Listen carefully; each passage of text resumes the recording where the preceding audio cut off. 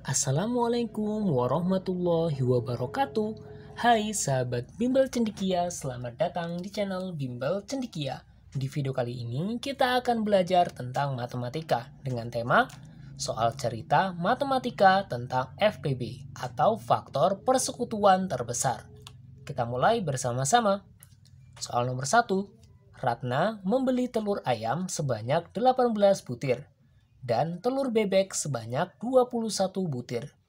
Kedua jenis telur tersebut akan dimasukkan ke dalam kardus. Setiap kardus berisi telur ayam dan telur bebek yang sama banyak. Berapa paling banyak kardus yang diperlukan Ratna? Oke, baik kita mulai bersama-sama ya.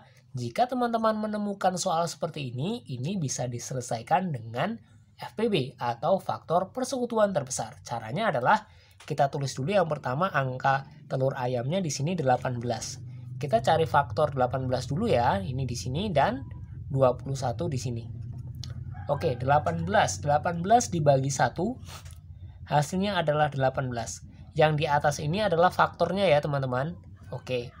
18 bagi 1 18. 18 bagi 2 9. 18 dibagi 3 6.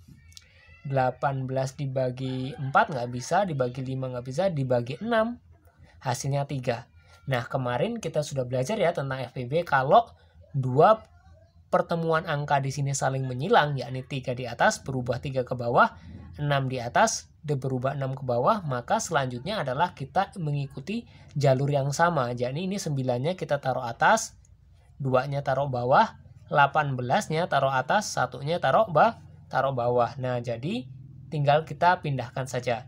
Jadi 1, 2, 3, 6, 9, dan 18 ini adalah faktor dari 18. Berikutnya adalah faktor dari 21. 21 bagi 1, 21. 21 bagi 2 bisa nggak? Nggak bisa. Dibagi 3 hasilnya berapa? 7. Dibagi 4 nggak bisa, bagi 5 nggak bisa, bagi 6 nggak bisa, bagi 7. Hasilnya 3. Sudah ketemu ya bolak-balik lalu dibagi 21 lagi di sini atas satunya ke ke bawah. Ini merupakan faktor dari 21 yakni 1 3 7 21. Di antara faktor-faktor ini manakah faktor yang sama? Yakni kita bisa menemukan antara 1 dan 3. Ini faktor sama ya. Sama. Nah, dari dua angka ini, manakah FPB-nya atau faktor yang terbesar? Yakni tiga. Ada tiga. Ini faktor yang terbesarnya. Jadi, jawaban nomor satu adalah setiap kardus berisi telur ayam dan telur bebek yang sama. Berapa paling banyak kardus yang diperlukan Ratna? Paling banyak, paling banyak kardus yang di diperlukan Ratna adalah berapa ini? Ti? Tiga. Jadi kardus yang paling banyak diperlukan Ratna adalah tiga kardus. Mudah kan teman-teman mengerjakan soal cerita dengan menggunakan FPB. Lagi ke soal nomor 2 ya. Soal nomor 2. Toko Sabar membuat 36 kue rasa coklat dan 40 kue rasa keju. Kedua jenis kue tersebut akan dimasukkan ke dalam kotak yang sama banyak. Nah, pertanyaannya ada A dan B ya. Yang A, berapa paling banyak kotak yang diperlukan jika banyaknya kue pada setiap kotak sama banyak? Yang B, berapa banyak kue rasa coklat dan keju dalam setiap kotak. Ada A dan juga B. Nah, kita jawab dulu yang A ya. Berapa banyak kotak yang diperlukan jika banyak kue pada setiap kotak sama banyak? Ini sama pertanyaannya dengan soal nomor satu tadi, mencari kotak ya.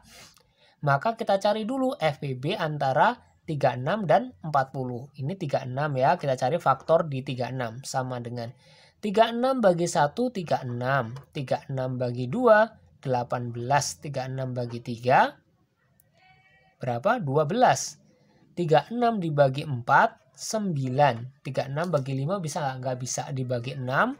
Hasilnya 6. Nah, dibagi 7 nggak bisa 8 nggak bisa 9 lagi nah dibagi sem 9 hasilnya 4 ini kan sudah bolak ba bolak balik maka kita taruh saja 12 nya di atas 3 nya ke bawah 18 nya ke atas 2 nya ke bawah 36 nya ke atas satunya ke ke bawah yang di atas ini merupakan faktor dari 36 ada 1 2 3 4 6, 9, 12, 18, dan 36. Berikutnya faktor dari 40. Coba kita cari ya. Faktor dari 40 ada 40 bagi 1, 40. 40 dibagi 2, 20. 40 bagi 3 bisa nggak bisa. Dibagi 4, 10. Dibagi 5, 8. Dibagi 6 nggak bisa. Dibagi 7 nggak bisa. Dibagi 8, 5. Sudah bolak-balik 10-nya ke atas, 4-nya ke bawah, 20-nya ke atas, 2-nya ke bawah, 40-nya ke atas, satunya ke ke bawah.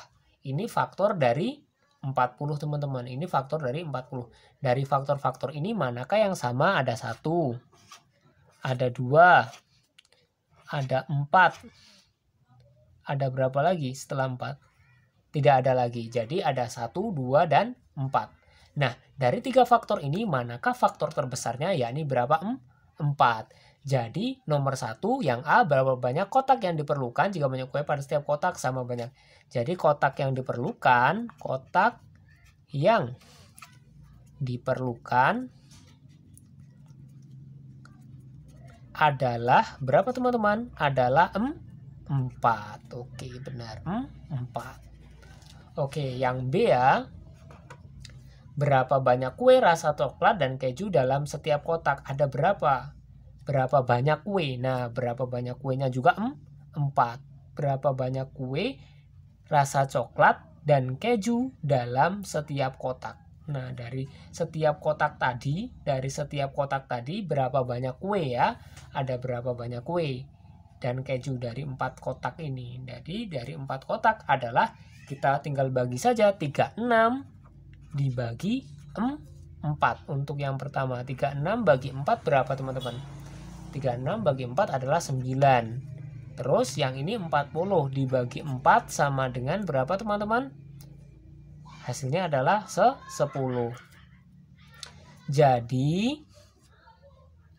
kue rasa coklat adalah 9 dan kue rasa keju adalah 10 di setiap kotak.